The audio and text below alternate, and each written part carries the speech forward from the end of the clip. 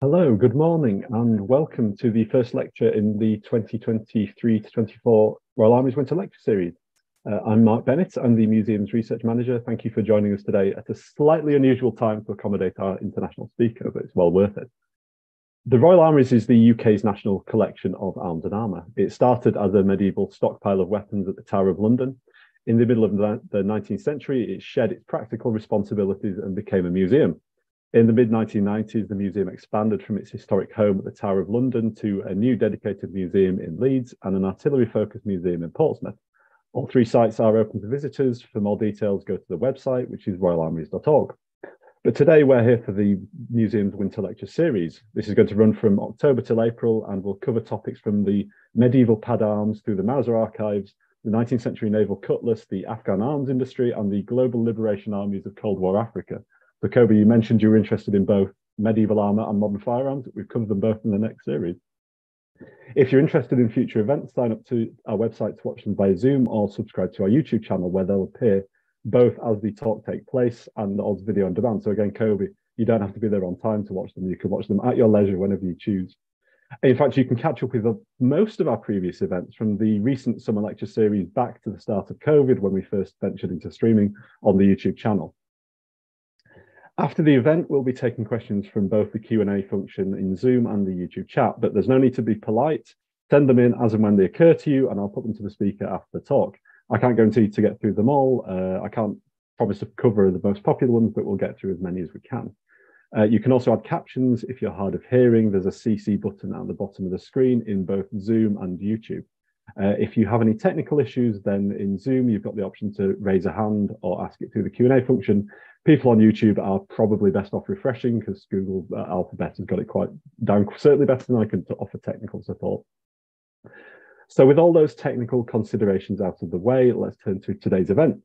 Now, the museum does have some small objects, which starts from armour, swords and firearms made for children, working down to three copies of the smallest mass production pistol ever made, which fires a bullet with a diameter of 2.7 millimeters or a tenth of an inch.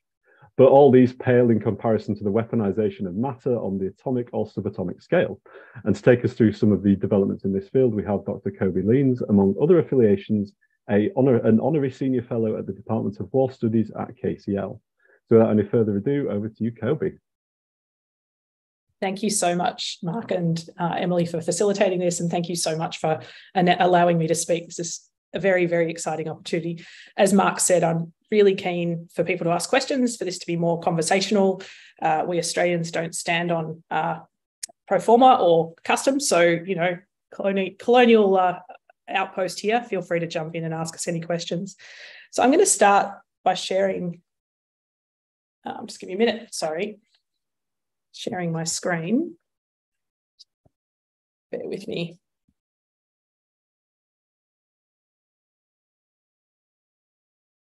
Yeah.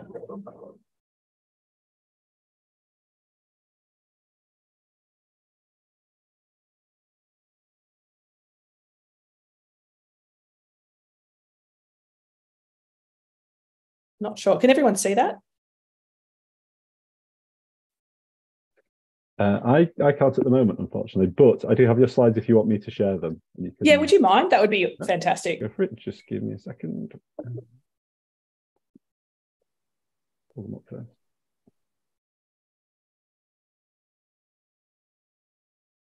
Thanks very much. It's always great when you give a talk about technology and the technology doesn't work up front.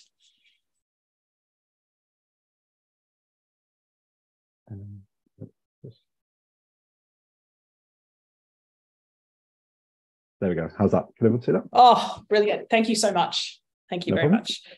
So, what I'd like to do in this presentation today is not talk at you about law. I'm a, um, a reformed lawyer, I'm a reformed academic, and I currently work in the corporate sector on AI governance. And the, the journey I want to take you on today is really how I got to where I am today and what I was really interested in. Sorry. Yep. Thanks. So the topic of my my research project was was actually off the back of having attended a lot of conferences where the conversations would go something like we've got chemical weapons, we've got biological weapons, we've got nuclear weapons, and then we've got, and then people would sort of mumble nano, quantum, some other unknown sort of sciences. And they would never really get into what those were. And they'd go, oh, there's not really any law and we don't really know. And I am the kind of person who, when someone says we don't really know a thing, that's when I want to know more and want to jump into it. So, for better or for worse, I spent six years of my life researching this. A full disclaimer: I'm not actually a science scientist by training. Um, so I spent at least a year getting into the actual nuts and bolts. But for the purposes of listening to this presentation, you don't need to be a lawyer, you don't need to be a technologist, you don't need to be anything really, because I really want to make sure that everyone can understand this presentation. So if there's anything you have questions about, please ask along the way. If you don't mind flicking to the next slide, Mark. So for those of you who, if anyone, I know there's one other Australian in the room, uh, know what these are, you'd be unusual, even for an Australian. Most people don't actually know that the largest um, source and the oldest engineering sites or technologies of any human exist in or in continuous use rather i should say exist actually in australia. This is a very very old fish trap. And what these fish traps were used for was to capture fish as they were um, caught put them into pools of different temperatures. And basically it's kind of an old school fridge the reason I wanted to show this image is that, firstly, partially what we're going to talk about today is a lot about what's not seen or less seen or things we don't talk about, both the matter and the law, because we tend to skip over them. And the other is because I am presenting to you from the land of the Wurundjeri people, and this land was never ceded. And I think it's really important to acknowledge that a lot of the Indigenous knowledge that sits here kept this land maintained, rich, fruitful, and productive over hundreds and hundreds of years. So I think it's really important just to acknowledge for a moment that I'm talking to you from this land and that this land has shaped a lot of my thinking. Next slide. Thanks. So, what was the framing I used for the question I asked? Well, again, by way of context, I was really interested. I was in Geneva when the Article 36 guide was written by the uh, International Committee of the Red Cross. For those who aren't familiar with the Article 36 guide, it's really effectively a weapons review system or a, an article that requires countries that acquire or modify weapons. And that's a really important distinction to think about where those weapons are going to be used. And in the weapons that you were describing before, Mark, whether it's the bullets or the guns or the even the swords, it was pretty easy to go, okay, this kind of weapon is going to do this kind of thing. And for anyone who's worked in the weaponry space, there are actual labs in Switzerland where guns are shot with bullets to test sort of projectile impacts and what they'll be. And there's a lot of detail that's around a lot of the weapons that are sold today, particularly as you know, sort of a sales package, but I think also in terms of the Article 36 reviews there are a number of country, countries that do these reviews. Not all of them do them, and they do do them in quite different ways. But technically, or frequently, they sit within legal departments. So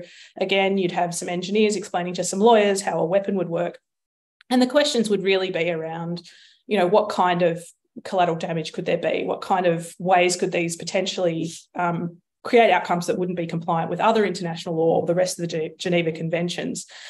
The Geneva Conventions really are, for those again who aren't familiar, uh, part of international humanitarian law, or I refer to it as the laws of war because I think it's actually there's a much broader swathe of laws that do apply to this. What we really are looking at again is, is how to or what the laws were invented with the intention of doing was to minimize the harm during war and to create a humanitarian approach after many, many people were just being slaughtered needlessly. So there are these, for some, again, if they're not familiar with laws of war, it's kind of an absurd idea that you can kill people, but you can't kill them in every way and all the ways that you would want to think about. The other point to think about is that this was also a, a review, these reviews require thinking about where the weapons will be used, how they will be used, what kind of environments they'll be used in. And Article 82 actually revi- requires advice on the battlefield or in, in, real time in terms of the context. So you can't just review a weapon and then go, okay, we've reviewed this thing, this system, we think we know how it's going to be used.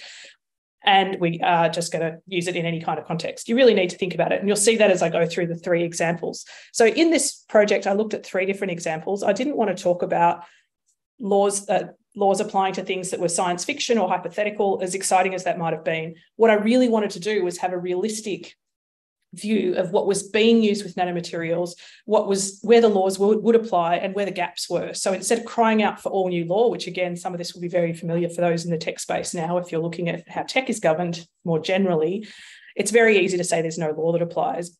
But you have to kind of go into the weeds of the technology to understand it to be able to say, is there or is there not law that applies? Why should I care? Because the impacts of these tools not falling under law means that states will develop and potentially use them in ways that don't comply with the laws that exist. And also there's a risk of escalation. Some of these some of these uh, weapons have got pretty strong psychological impacts and particularly when you're getting to the the invisible sizes of the weapons that we're going to talk about or the systems that we're going to talk about today. So it was really important to me to think about all of those things to frame them in a way that would be useful, not just for this particular project, but also for other new technologies, which is what led me to the work that I'm doing today. But that's a long time on one slide. Mark, if you don't mind moving to the next slide, that would be great. Thanks very much. So, is there law? Yes, there's law. I don't want to go into all of it. It's quite boring unless you're a lawyer. I mean, apart from the prohibition on blinding laser weapons, all of these weapons came, all the, these prohibitions came into being after the weapons were used, um, which is an interesting one because often we humans are a little bit slow on the uptake, um, not just the lawyers, but humans in general. And these weapons would be used, and then people go, hold on, that's probably not really a great idea. For those who are not lawyers, again, there's treaty law, which is black, black letter law, where states will agree on a particular way of approaching a problem. And each of these treaties and conventions has really different politics, histories, framings that that mean interpreting them can be really interesting when you're thinking about new technologies. Well, I find it interesting. Some people just find it incredibly challenging, but I love that that kind of work.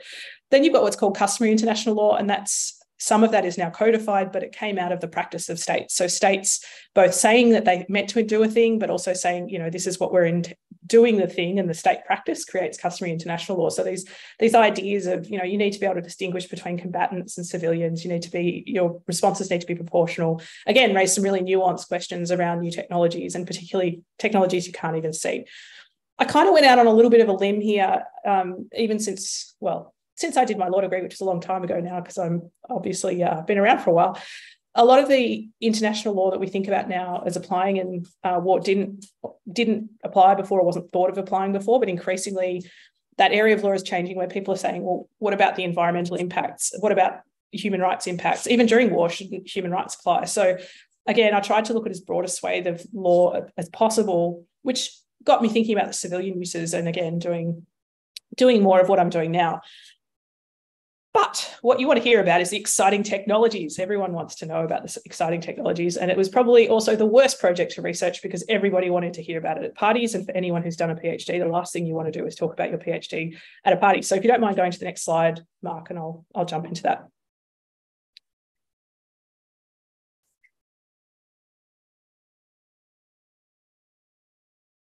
Fantastic. So I'm just going to jump in right here. Um, I can explain what nano is to you, but it's not really the same as actually having a visual. Uh, I think after COVID, there was a lot more talk of nano and particularly mRNA, so people are more aware. But basically, uh, nano is 10 to the power of nine. It's, it comes from the word uh, linguists vavach, meaning dwarf. And it's basically what an apple is to the size of the earth or 80,000 times across a human hair. Now, I can say all those things, but this visual, I think, is fantastic to just kind of showcase what we're actually talking about. So, what's not visible, what's atomic, which Mark has already really lovely uh, framed, framed in a beautiful way, but also it's where a lot of our bodily functions happen. Sorry, I've got a little visitor who wants to be on this co present, so don't mind me. So, if we're talking about what that sort of size is, and I know it's a slightly tongue in cheek topic, does size matter? And one of the things that I really want to look at is, you know, what's new and what's different. So nanomaterials as substances have existed for thousands of years. They exist in sea spray and in milk, and they have a lot of a lot of implications. Some people will know of, of sort of nanomaterials being harmful through asbestos. And the reason that they're different from normal materials is that the surface area to the internal ratio is really different. So you have a much larger surface area to a tiny, again, beyond human vision kind of perspective. So when you're thinking about using them, the, the impacts of using things with nanomaterials can have a whole different range, a whole different range of impacts that you really need to understand the nanomaterials to, to, to grasp. But a lot of nanomaterials also don't operate that differently. And the areas in which the research, and I'm sure this is, um, there have been updates to this. I try to follow the literature, but it's now moving incredibly quickly. The re, the areas in which nanomaterials are really having the most impact uh, in the biological space, but also any kind of metallic nanomaterials tend to be toxic. There could be materials that are not toxic at the regular scale, but at the nanoscale they are. And so thinking about what those, what that might look like, and what that means in a in a military context or in an armed uh, in armed combatant, combatants using them was something that I also really, really wanted to explore. So getting on to the first, the first of my technologies was thermobarics. Next slide, please.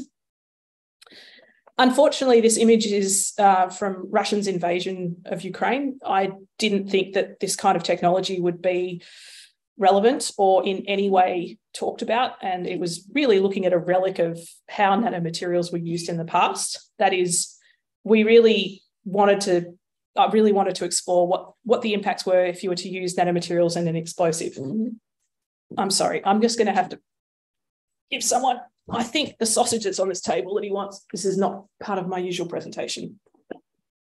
So, thermobarics work differently to regular um, regular types of explosions. For those of you who are familiar with with um, normal explosives, you've normally got one substance that reacts with another substance and creates some kind of explosion. Thermobarics are uh, nanomaterials, so they're very, very small, built on a very small scale, and they interact with the oxygen in the air, which means they create an inc- incredible vacuum and they're incredibly violent. They were used, which again is ironic for any weapon, but these are particularly harsh we- weapons.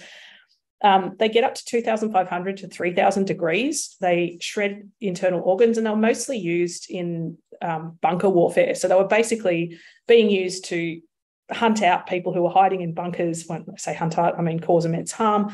But their physical impacts, reading about the physical impacts is in, incredibly hard to read.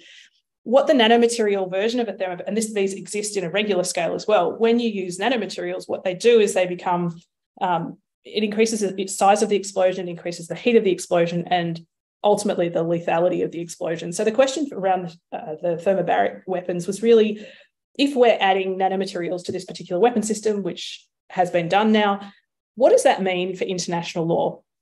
And in this presentation, I'm not going to bore you with all of the law. Needless to say, a lot of the law still still applies. But thinking about that in terms of okay, you've got a weapon that's the same weapon as before, but more intense, and in some ways is actually comparable to a, potentially some small nuclear uh, explosions without the residuals and sometimes with the residuals, this is the other rabbit hole I went down. What kind of nanomaterials are left? Given that we know that some nanomaterials can be toxic, what does that mean longer term? And in this particular area, one of the gaps is what is the environmental impact of using weapons where there's residuals that might have long term impacts on water tables, on, um, on food supply chains that gets into food supply chains. And the other thing about nanomaterials is they cross the blood brain barrier. So once they're in your body, you can't really get them out.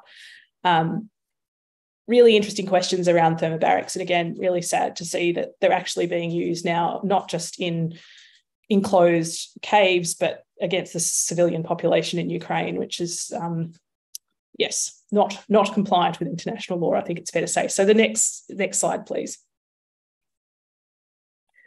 So the next, the next technology sounds really sci-fi, um, and again is advanced enormously. It's a little bit like um, CRISPR-Cas9 genetic modification. Scientists love to write papers about this. The idea was basically looking at research, looking at lasers, which are nanoscale, to control uh, mind behaviors. And there are other ways that are actually easier to do this than than optogenetics, but I looked at optogenetics specifically because, again, I wanted to choose technologies that were relevant, that were being used, that actually posed some kind of risk. So imagine instead of this being a, a cute little white rat that it's actually human. Imagine that you don't necessarily have to have it attached. The idea is that you have opsins in the brain, and again at the, the cellular level. And by switching those opsins on and off, you can actually change memories, in, increase fear, reduce fear, um, many, many applications, both for defense, but also potentially for a, a, population that you are trying to control. A little bit sci fi in terms of the applications, but a real technology nonetheless, and one that's had some pretty profound applications in terms of the, the health the health aspect. So you can see that nanomaterials being used in this way would raise completely different issues from the thermobaric weapon that I was showing before. So we're talking about a lot of neurological control, which I mean, there's a lot of talk now about um, different kinds of neurological inventions, and there's a, an amazing Australian actually who's who's invented a stent that can be put into um, into humans without surgery that can have a similar effect in terms of changing behaviors, but can also activate limbs and do some really good stuff. I'm always looking at, you know, what's the what's the way this could be misused? It's so much more fun to talk about the harms and the risks. And legally, what are the limits? What can you do? What does it mean from a human rights perspective if you can change memory, if you can make someone more aggressive? What does that mean for liability? It, raises many questions that I couldn't answer in this book because, again, these projects are fairly limited in their scope. But it really was interesting to think about what kind of law applies. And again, a lot of law does apply because you really can't be using systems against um, civilians or combatants without consent in this kind of way. So I think there's a new area that's evolving, not just in relation to optogenetics, but in terms of brain um, and memory management more generally. Um, next slide, please. So I didn't look at genetically modified cats as, as interesting as that would have been. This is an actual project where um, a gene was altered in cats. But what I was really interested in looking at, again, because nanomaterials are operational at the biological level, if you were to modify genes, what would that mean? And many of you would have heard of CRISPR Cas9. Again, it's an incredible popular, incredibly popular topic of science. It's had a lot of papers written, but this idea again, it's not new. There's been a lot of modification of genes in the past. The difference with CRISPR Cas9 was the speed and the ease with which genes could be modified. So, this idea that you could intervene in someone's biology, not just for them, but also for their for their germline. So their children would then be affected.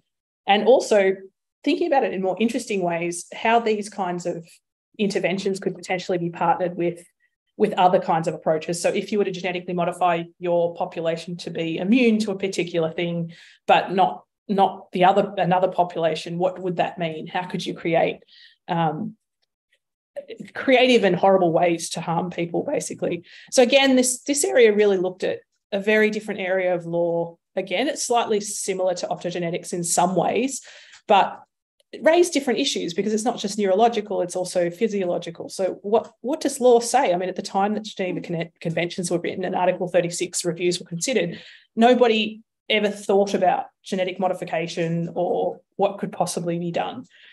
And so, all of these questions were surfaced through this really deep interrogation of what technologies were, how they were being used. And again, some papers actually being written about how defence was considering it, um, using these technologies that already existed in the civilian sphere. So if you don't mind going to the last slide. The, I really want to leave a lot of time for questions because I'm not sure about what the audience is going to be interested in. But the main thing that I really wanted to raise in this, and the main conclusions that I came to were, or the recommendations that I made were fairly concrete. They were Article 36 reviews are no longer fit for purpose. They still need to be used, but it's not enough to just have a lawyer and an engineer in the room.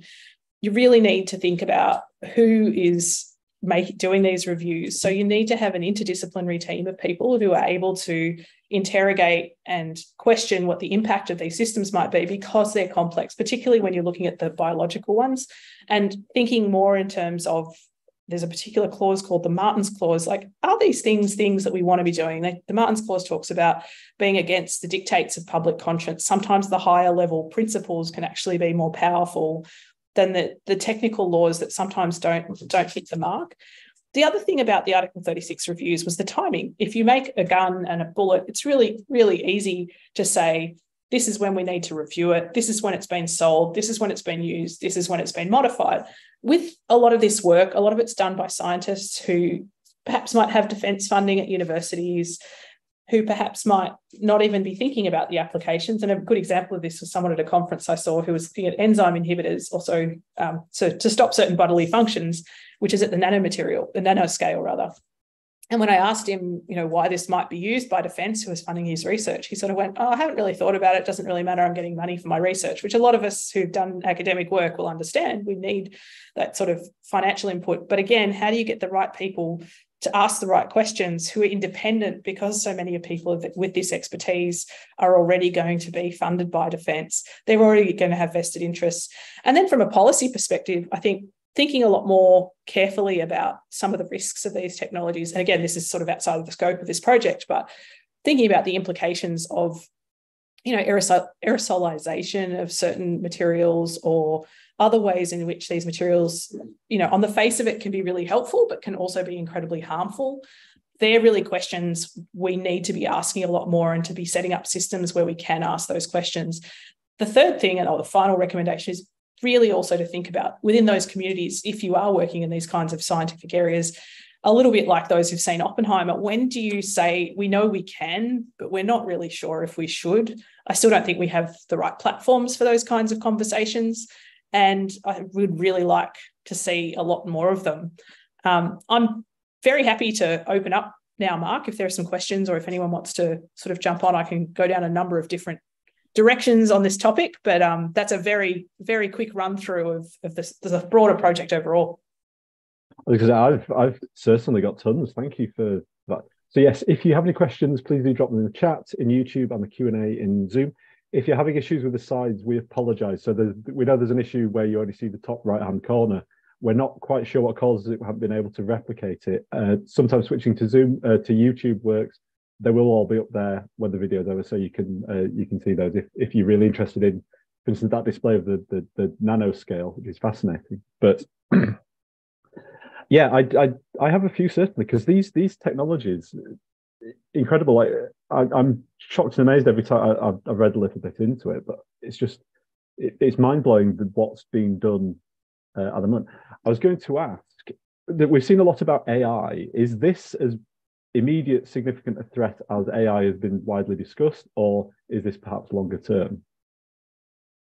Well, there's an assumption in that question that AI is an immediate uh, mm-hmm. life uh, existing threat, mm-hmm. Mm-hmm. Um, which I've thought and written about. Mm. and I, I, think there are two things I always ask: what is new, yep. and what exists already? And they're two separate questions. Mm-hmm. What what is different about this moment? So.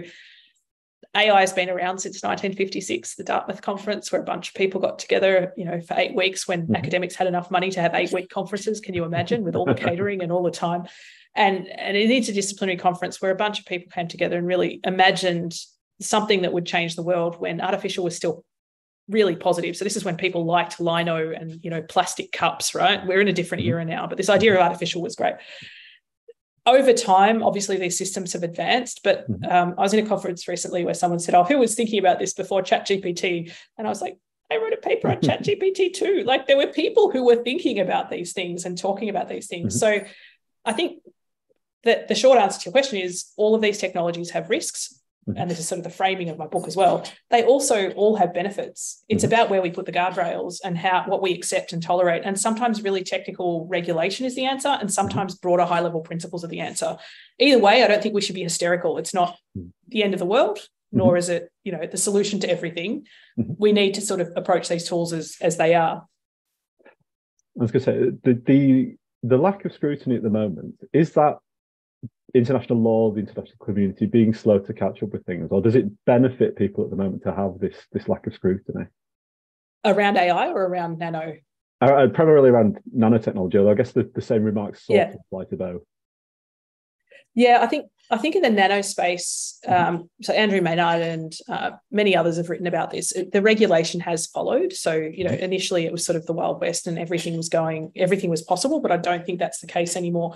I think with AI, there's a different story going on. I think there's really a push to not have certain conversations. Um, mm-hmm. I've written some articles about social silences, to quote Pierre Bourdieu, where there's just where they're just things we just don't talk about. And again, that narrative that it's it's urgent, it's brand new, it'll change the world. It's you know we've also got a climate crisis going on right now. I'm not sure that that anything is more pressing than that, and it's very mm-hmm. easy to be distracted mm-hmm. by the long termers who you know focus on the the kind of crazy you know we'll be all fine. The wealthy people will go elsewhere and they'll go off, to, you know, we'll go off to another planet. Mm-hmm. So I think it's really important to keep these things in perspective. Um, so in, in, the in context of AI, and I'm not alone in saying this, there's a there's been a pushback against regulation, and now they know that it's coming and the wave's coming. It's let's get on it and be part of it. Both mm-hmm. of those have issues. There is no law, and there's all the law is are both problematic. Again, those sort of mm-hmm. diametrically opposed views are not correct. We have two questions from, and I apologize if I pronounce it incorrectly, but do spend on YouTube. So the first one is about dragon skin armor. I'm not sure if you're familiar with that. I'm not. Oh, the invisible skins. Yes, ah, yes, perfect, I am. Yeah. So I think that's what you're talking about. I mean, feel free to clarify, but um, say, yeah, yeah, yeah. Please. Yeah. So there was, there was someone else who'd done a little bit of research on this before I started, and it was very, very alluring. I thought I can write about invisibility cloaks. I mean, that's mm-hmm. really what we all want to talk about, right? No one wants to talk about the other weapons. Um, they're not uh, impossible to make. They're just you you've got to imagine the size of the material that you're making. The trouble is that graphene and creating nanomaterials is incredibly expensive and time and energy intensive. So making a cloak on that scale, unfortunately, um, for better or for worse, is is not really possible at this stage. But that's not to say that the technology won't advance to a, to a point that it can. On a smaller scale, yes, um, these these sorts of uh, bending, light bending, particularly um, having these particular properties is possible. So if you have a very, very small, a nanoscale dragon, yes, you could potentially do it. Mm-hmm. Great. So yes, I mean, obviously clarify if that's not exactly what you were looking for. But the other question that you had was, uh, is it possible to use optogenetics through the optical nerve, uh, hypothetically or, or otherwise? Which I presume is seeing through someone's eyes, but again, you might want to, to clarify that if uh, Despend. Yeah, so again, full disclosure, not not a medical expert. Opsins, as I understand it, uh, I don't know if they're in the eye. I know that they're in the brain, so in the, they're in our neurons, and that's the function. But as far as I know, they're not. But I might be wrong. Mm-hmm. The, the question I had on that, and I don't, I, I'm not, I don't know if anyone's thought about this, but if you can change people's memories, surely that's got massive implications for the legal system of how we how we accept witness testimony. But I, I don't know if that's something that's huge at the moment. No, I think people are starting to talk about neurotechnologies more broadly. There are a couple of um, a couple of academics who've sort of made it their their mission, and not just optogenetics. So again, I've looked at one particular angle, but the ability to understand the human brain brain is advancing so rapidly. And again, part of this came out of I had very um, a small amount of seed funding at the beginning of this project where I attended a conference, um, the Emerging Technologies Conference in Arizona, which is amazing. Um, it was also the the conference that made me get off Facebook because I found out what Facebook was doing and how they were tracking me. So that was years ago, and I haven't been there since. But this idea that um, you could somehow track in someone's brain. They actually showed someone watching a movie and then they showed what they could extract from the brain in terms of the patterns they were seeing. And I know now those images are far clearer. So there's the what you put in and what you can change, and particularly mm-hmm. in terms of memories, horrifying Black Mirror episodes have been made about it. Mm-hmm. But there's also about what you there's this this question of what you can get out. So, you know, I don't really want anyone to be able to see what I, am a very visual person. I don't really want people to be seeing what's going on in my brain. I think there are really interesting questions around that. I don't think they're going to be mainstream technologies, but I do think they can be used in conjunction. And again, these technologies can also be used at the same time. There's not they're not one mm-hmm. standalone technology. Mm-hmm. Really interesting questions for the legal system. Absolutely. Yes, I think that may, that may possibly ask, uh, answer part of Despend's additional question, which is how in depth and modular is it currently? Because we had another question from, uh, let's check, it's from Clab on YouTube. So they asked uh, if you can affect people's moods, couldn't you in theory make everyone depressed? The one that worried me more is could you in theory make everyone happy? Because that might be terrible. Yeah, I don't know. I think the depression is kind of happening with the tech anyway. Like there was mm. some really interesting articles this week in the Guardian about addiction and children in Australia, particularly gambling. Mm. Um, that's a whole other. Again, it's much easier to kind of do that if anyone stands at the the tube there or the, the hmm. train here or anywhere. Everyone's on their phones all the time, right? Like the addicting the addiction models that they're using are working. So I think there are easier ways to make people sad, but I think to your hmm. point yeah, it's more worrying if you can actually make people complacent or mm. uh, unable to connect with other people around them. But again, I mean, at the risk of sounding really flippant or facetious, I think a lot of that is happening with the devices that we're holding in front of us all the time. Anyway, you know, we have an hmm. epidemic of loneliness at the time that we're more more than connected than ever, more connected than ever. So there are easier ways to do this, and intervening in the human brain or changing the human biology. Um, those may be options further down the track for certain applications, but I think technology as a whole is doing that. Even though we talk about using this, these devices for wellness, or the industry talks about it a lot, there are a lot of other implications. We're just starting to understand some really interesting research on that point around um, kids and algorithms and eating disorders with girls and violence with boys. I just don't think we're talking about or understand enough how these systems are actually nudging and changing behaviors in our society, including voting for populist governments across Europe. Mm-hmm. Mm. On that note, so what's the most practical approach here? Is it banning entire fields of study, or are they? Uh, is it for every one of these inventions, even down to the sort of very very granular modular ones? Are there potential benefits that we could, you know, are the potential benefits from pursuing those avenues too great to, to say for any particular field or subfield that we said do nothing in this area? Um, astonishingly, I don't have all of the answers to the greatest of our world's problems, but I think a little bit again, like Oppenheimer, for those who haven't seen it, Um, one of Einstein's last acts before he died was to set up a working group called Pugwash, which mm-hmm. sits mm-hmm. beside the UN meetings and still takes place now. And I have the privilege of attending a number of those where scientists came together, not as their country representatives, but just as scientists to say, is this what we should be doing? Like, is this really where we want to be going with our research? So I'm certainly not one to say, let's ban everything. But I think we're missing out on some of those conversations around, and this goes for nano as much as it goes for AI right now.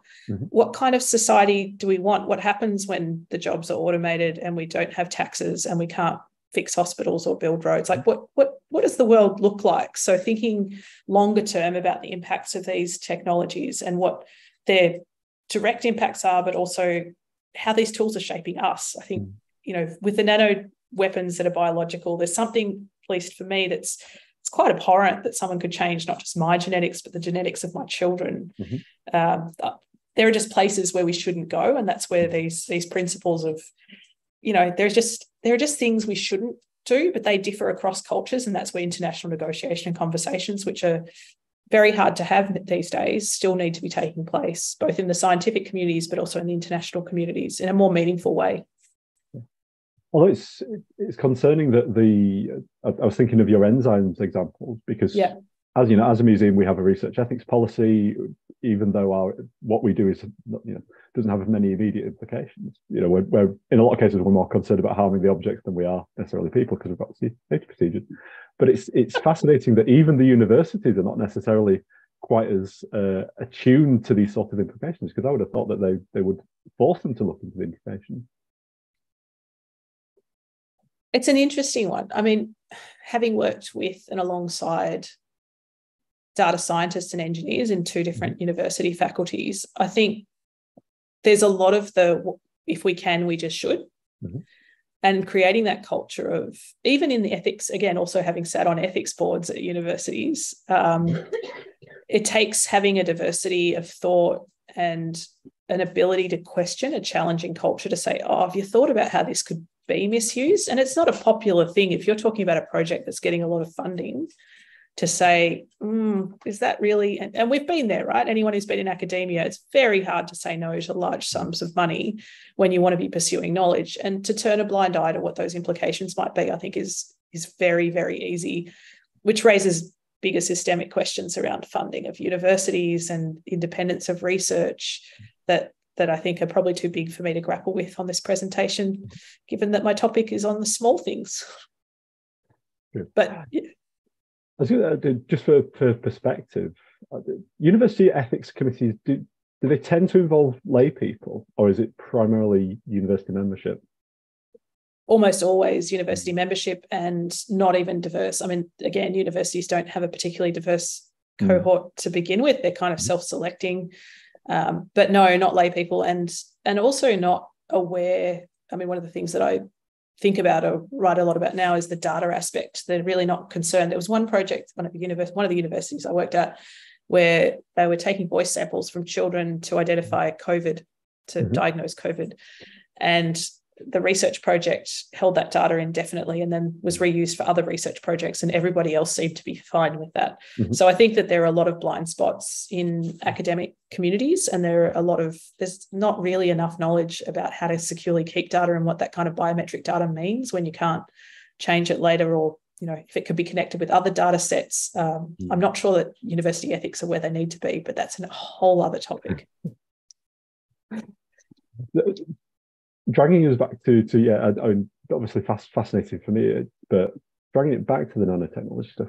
I was I was curious. We we talked about certainly in the context of dragon skin the, the difficulties of uh, manufacturing, but again, rough, rough finger in the air. How far away are we from the point where these kind of you know more advanced nanotechnology uh, developments are not as you know a, a kind of available at the corporate level, perhaps even the, the individual level? A more mainstream. It's a really good question, uh, and again, I don't. I don't know at what point they become commercially viable. I know that there are medicines that are now being developed that can target specific. I mean, cancer is a great example, right? So you can actually have little nanobots that kind of swim through um, there's an article I wrote with a colleague years ago called Neither Bot Nor Beast. This idea mm-hmm. of basically creating organisms that can kind of shuttle through your body to go to where they need to go. That's already mm-hmm. happening. Mm-hmm. And I think for medicines, there's there's a greater need. But as much as I would love the dragon skin on my tiny dragon, uh, I don't know that that's going to be commercially viable at any point in the near future. Mm-hmm. Um, there are probably, again, it's always there are cheaper and easier ways to make objects invisible, although obviously nowhere near as cool as the dragon skin. So mm-hmm. I understand the interest in it, um, but commercially viable, no. I just think the the scale of production, the cost of production. But to your point, I, I mean, the short answer is I don't know. I don't. it comes down to commercial viability and demand. Maybe if mm-hmm. someone has a Kickstarter idea and there's enough mm-hmm. funding, who knows? It's possible. Yeah, yeah. And the things things always move either glacially slower or dramatically quicker than you would anticipate when it comes to, to technology. It's, it's hence my skepticism about futurists. I don't know what the future is going to bring. I can just look at all of the way that things have developed so far. You know, history doesn't repeat, but it often rhymes. So mm-hmm. it's good to look at the past to understand the future. And a, a, a, nice one from Jack Yates on YouTube to, to close us off, I think. What's the scary, because again, we're, we're at the point where we're, we're all going to be closing our laptops. What's the scariest thing that's come up in your research that made you close your laptop and say, that's enough research for today? Time, time to spend time with the dogs Oof. and the family. That's such a good question. I don't know that there's any individual piece of research, mm. but I have to also say that I've been working on years ago, I started working on chemical and biological weapons control. Mm-hmm. So I've sort of got an immunity to that kind of thing. I have yeah. a weird ability to deal with any kind of mass destruction mm-hmm. system. What I can't deal with are the stories about individuals. Mm. I can talk about genocide, but I can't talk about domestic violence. Like there's sort of this personal distancing yep. of from the science that means that, and I think that's partially why I've done this kind of project that I can think about whole systems. Mm-hmm. But when I think about how individuals treat each other or um, you know particular impacts on people, I really struggle with that. So there's no again, it sort of goes to that point that there's no single technology. In the first opening of my book, I talk about the oldest human remains are actually found next to a pile of stones. And in those mm-hmm. human remains, the guy's got no teeth. Mm. So, you know, we, we're all human in some ways. We protect our loved ones, mm-hmm. but we also want to be able to defend our patch, mm. right? So there's this tension inherent in all of the technologies, which sort of goes to your point of should we just not do things? Mm-hmm.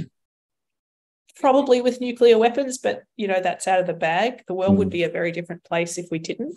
Mm-hmm. But there's this thing about human curiosity that just drives, particularly scientists, that just the mm. can we is, is such a powerful driving factor mm-hmm. that it's very, very hard to, to stop. Excuse me. True.